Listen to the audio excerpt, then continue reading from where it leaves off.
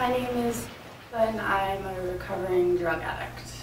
Um, about two years ago, I started using crack cocaine.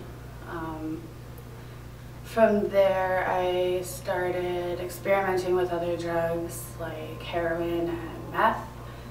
Um, mainly, I stuck to crack um, and cocaine.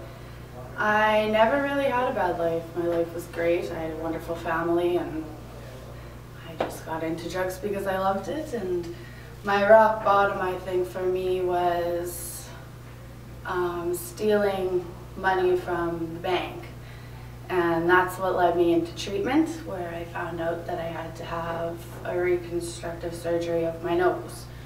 Um, after I completed 14 days of detox, I did a 38 day treatment from home and found myself living a much better life, clean and happy. And today I am 18 months clean. Um, I attend NA meetings regularly and I find my life is so much better.